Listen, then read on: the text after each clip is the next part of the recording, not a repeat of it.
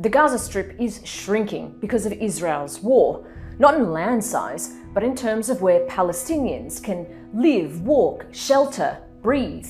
The UN says at least 86% of Gaza is now subject to Israel's evacuation orders. Remember, we're talking about what was already one of the world's most densely populated regions.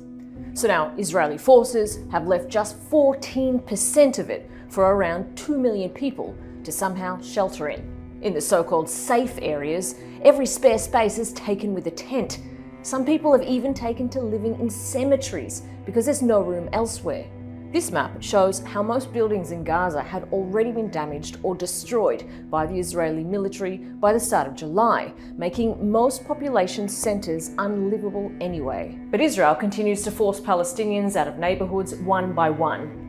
The military calls this adjustments to its designated safe zones. Palestinians say the evacuation orders are simply a forced displacement strategy. Remember, Palestinians have been forced from place to place since Israel's war on Gaza began in October. The UN estimates 9 out of 10 people in Gaza have been displaced at least once. Some have been displaced 9 or 10 times or even more. Have a look at this map.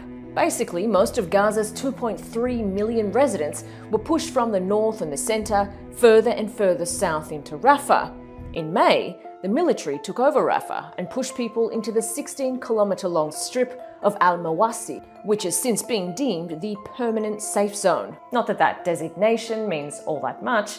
The militaries attacked Al Mawasi repeatedly.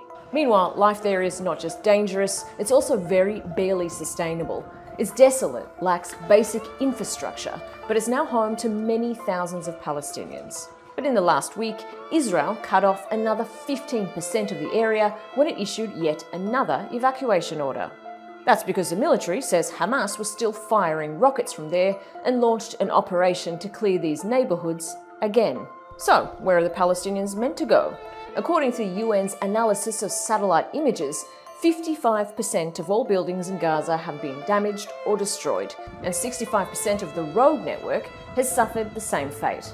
Despite the horrific conditions, it's estimated about 400,000 Palestinians are still scattered throughout this rubble, living in places Israel hasn't deemed safe. The UN's Andrea De Domenico says Gaza residents are being moved around like pawns in a board game.